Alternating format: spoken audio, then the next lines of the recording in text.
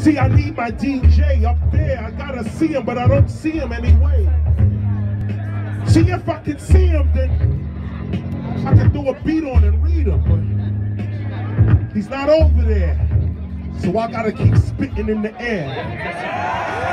The music goes on. But of course, KRS is never lost. Huh. This is that old school I did in the back. This is that remix I took in the back. I did this with Bad Boy on the track. Now we're gonna take it all the way back. I'm trying to see, oh, five minutes, that's my shit. Two minutes, damn, that shit go quick.